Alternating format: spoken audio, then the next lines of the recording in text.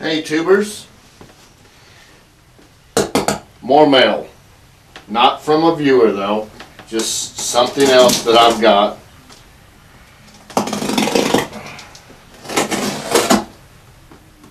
I want to send a special shout out to uh, Tanner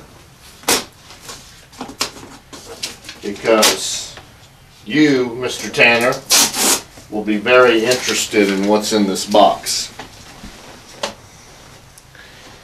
Everybody will be interested, but Tanner will probably be more interested.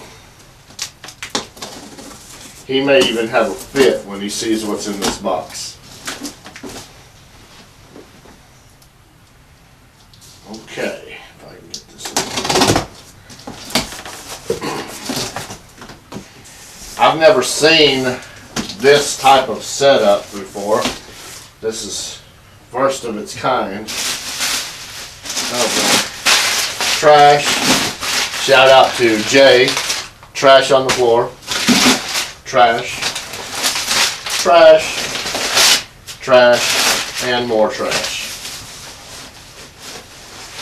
Here's the main event. Get this out. Throw that on the floor. Boom. All right. Well, they, they sure took precautions with this. I guess they didn't want to get any moisture on it. It came from up north where it's really cold and wet and snowy and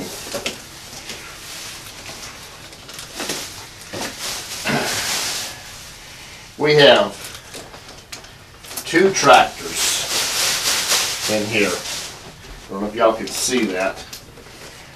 Right there. It's a John Deere 330.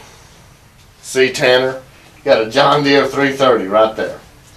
And right here, red one, we have a John Deere 430. It says on top, 330 and 430. So I've got these tractors and um, they're mine.